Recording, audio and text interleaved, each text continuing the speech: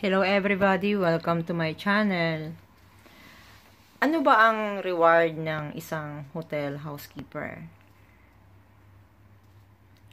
Um, depende po yon kung saang hotel kayo naka-assign. Katulad po sa amin, meron din pong mga incentive kapag halimbawa naka 13 rooms ka, tapos merong stay over, ikaw lang ang gagawa nun. Kapag nagawa mo yun, may 1,000 shekel ka sa aming hotel. Pero hindi ko kaya po yung 13 checkout. Hirapan na nga po ako dun sa sa 10. Hirapan ako nun. Kasi, paano kung balagan pa? yon Kanina po, sa ibang hotel, meron silang mga rewards, certificate, best employee. Sa hotel namin, talagang pili lang. Pili lang talaga. Pero bihira sa aming mga Pilipino doon ang mabigyan ng award ng best employee.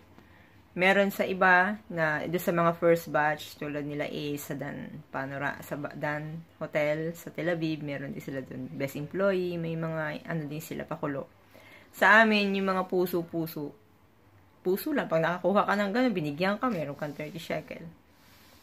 Yun. Meron din daw na ganun sa amin, pero yun ay parang matindi ang competition. Depende sa management tapos kanina po, kaya ako na-open ito, bali, naka-assign ako sa 11th floor. Kami ni Rhea ang napa-assign.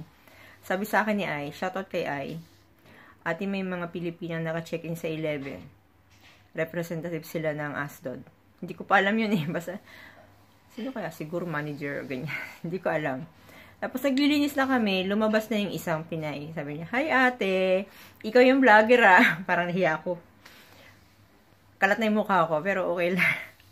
Sabi ko sa kanila, pwede bang, ano, bali humihingi siya sa akin ng sakit. Sakit ang tawag sa nila dun sa ba, ba, plastic bag ng patalian. Tawag naman namin sikit, sila sakit.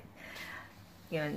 Tapos sabi niya, mga taga saan kayo? Asdod Hotel Ate, Leonardo. Wow, paano, paano kayo napunta dito? Nakatanggap na meron daw sa kanilang reward na mag-check-in sa hotel namin ng isang gabi. At yun, kanina, sila umalis. Pero bago sila umalis, na-interview ko lang sila, pero maikli lang kasi yung cellphone ko. Maraming naka-upload na video. Putol-putol yun, pero i-add ko na lang po dito. Pero bago ko po yun ipalabas, bago nyo po mapanood, please click like, subscribe, and click the notification bell para ma-update ko po kayo sa mga susunod pang mga vlog. Ito po yung mga pangalan nila. Sila po yung taga Asdod Hotel Leonardo. Shoutout po sa lahat ng mga hotel workers dyan sa Asdod Hotel Leonardo. Uh, ito sila Maria ng taga Bulacan and Jubilin taga Pangasinan. Congratulations sa inyo. Nakaka-proud bilang isang hotel workers na kahit hindi namin kayo kasama sa hotel namin, kahit taga ibang hotel kayo, nakaka-proud na makarinig na Pilipino got award, di ba? Talagang ang Pilipino masisipag and you deserve that na matanggap niyo yung mga ganon. Kasi depende po yun sa performance ng bawat isa. Depende rin po dun sa naghahawak. Ganon. Yun.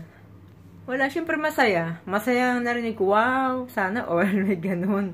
Di ba? You're very lucky and you deserve that na makatanggap ng ganon. Kasi hindi rin po talaga biro yung trabaho ng isang hotel workers. Hindi lang basta ganon-ganon lang. Kaya kami, para ma-enjoy namin yung buhay sa Israel, sumasama kami sa mga tour para lumabas. Yun, kinamis, kinumusta ko si Jovelyn. Kumusta naman yung pag-stay nyo? Okay ate, masarap magpahinga. Di ba kailangan din nating mag-unwind, mamasyal. Pero yun ay libre sa kanilang asdod. Dahil siguro masisipag sila nakita ng Asdod Hotel Leonardo yung kanilang deserving sa pagkatrabaho yung pagiging masipag mga mga model employees sila doon congratulations sa inyong dalawa bye bye Hello guys, welcome to my channel. May bisita po kami dito sa 11th floor. Mga Pilipina, taga Asdod. Hello po. Paano kayo napunta dito? Uh, meron kaming naging reward. Uh, hotel namin is Leonardo, Ashdod. Wow! pinag, pinag, ano kami, parang vacation for one one night.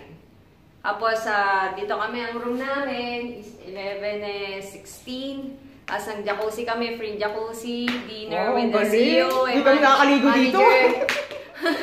Tapos naglibot kami dun sa labas. eh, Tapos nag-experience kami kahapon doon sa Beersheba. Lahat ng seven eh, beer, shots, Wow. tinikman namin doon. Wow Ay, Yung naman. history, nalaman namin yung history, bakit nga Beersheba. Ang dami pala sa Bong Street, puro beer siya. Kaya maganda dito sa Beersheba. Nandito din yung mga kabayan natin, yung mga Pilipino. Sila ate, yan. Taga sa Maria, taga Bulacan ako. Ikaw? Jubilin po, taga Pangasinan. Akala ko or, ano lang sila talagang guest, hindi sila mukhang hotel housekeeper. Ako, hindi mo Diba? interviewin. Siya nga pala, sino siya? Siya si Ako, Erlinda. Siya pala mga magkakabatch sila. Nakabatch kami. Mag, Oo. 10 months kami na dito sa Israel. Kami seven.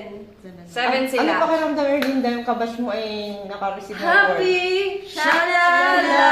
Everybody should be happy! Papalo kita. Shalala! Grabe, parang kailan lang. Saya, saya. Diba?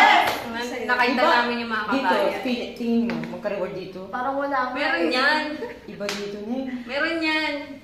Kami naman ang person sa Ashland. Sa Ashdod, makapunta kayo mga... Oo, maganda rin mga view natin yung Eye of the Sun, tapos tabi ng beach, tapos hotel. There!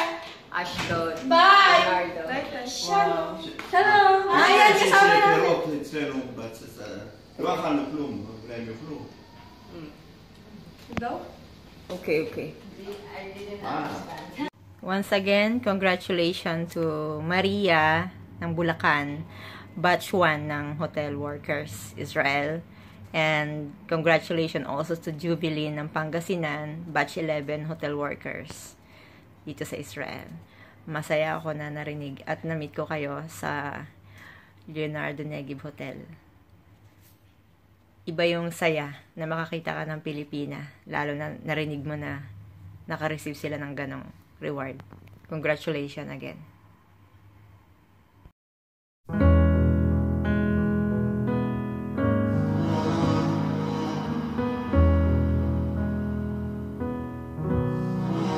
How could you do all this just to make me feel like nothing? You're something indescribable.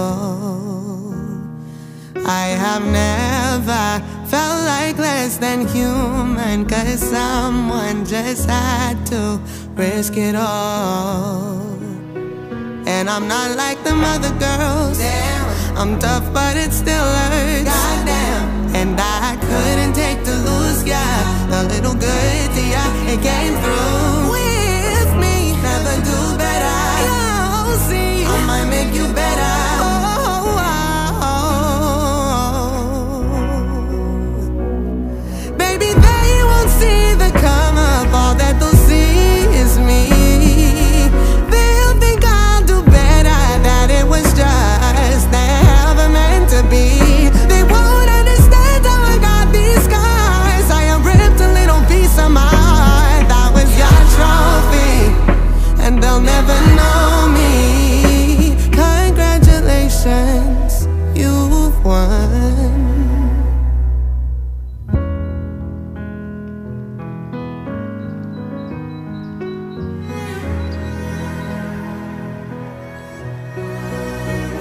Ended up just like your daddy, always drowning in his cup. Take a hit, get your fix on me, yeah. What was the point